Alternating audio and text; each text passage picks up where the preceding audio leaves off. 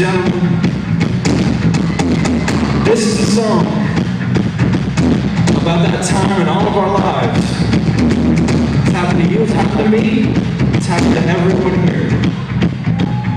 It's about that time when you are a French spy in World War II.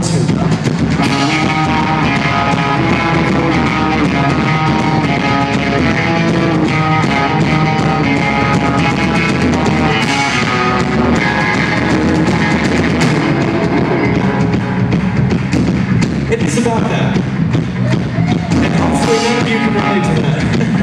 but it's also about standing up for what you believe in no matter what. A very noble thing. Inside, if you smudge, guidance your soldiers singing songs. Fear not, my downcast brothers. We are the strong arm of the